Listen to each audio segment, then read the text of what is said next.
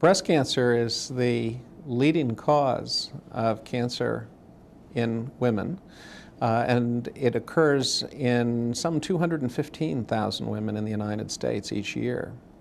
Breast cancer can occur in men as well, but only about 2% of all breast cancers occur in men.